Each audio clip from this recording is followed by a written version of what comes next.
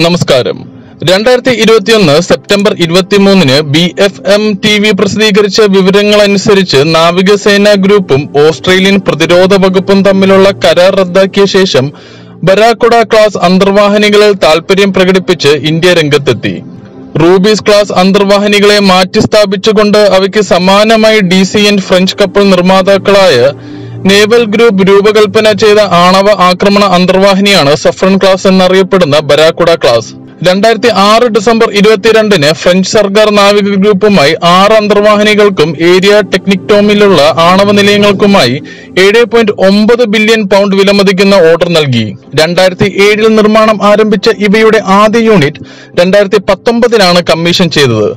റൂബീസിനെ അപേക്ഷിച്ച് ബരാക്കുട ഇന്ധനം നിറയ്ക്കുന്നതിന് complex over ഹോൾസി അഥവാ ആർ സി ഒ എച്ച് എസിന്റെ ഇടയിലുള്ള സമയം വർദ്ധിപ്പിക്കുന്നു. അതോടൊപ്പം ഏഴ് മുതൽ പത്ത് വർഷം വരെ ഉയർന്ന സമുദ്ര ലഭ്യതയും സാധ്യമാകുന്നു.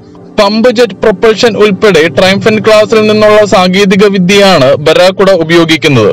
ഏകദേശം ആയിരം കിലോമീറ്റർ ദൂരപരിധിയുള്ള നാവിക ക്രൂയിസ് മിസൈലുകൾ വരെ വിക്ഷേപിക്കാൻ ഇവയ്ക്ക് കഴിയുമെന്ന് ഉന്നതർ പറയുന്നു. ഗ്രൗണ്ട് ടാർജറ്റുകൾക്ക് എതിരായ ദീർഘദൂര സ്ട്രൈക്കുകൾക്കായി S S N torpedo tube വിക്ഷേപിച്ച M D C N SCALP എന്നീ ക്രൂയിസ് മിസൈലുകൾ ഇവയിൽ ഘടിപ്പിക്കും. ആക്രമണം രഹസ്യ ശേഖരണം അന്തർവാഹിനി വിരുദ്ധ യുദ്ധം തുടങ്ങിയ പ്രവർത്തനങ്ങൾ ഇവയിൽ ഉൾപ്പെടുന്നു. കൂടാതെ പ്രത്യേക പ്രവർത്തനങ്ങൾക്ക് വേണ്ടി ഒരു സമയം പന്ത്രണ്ട് കമാൻഡുകളെ ബരാക്കുഡിൽ ഉൾക്കൊള്ളാൻ കഴിയും.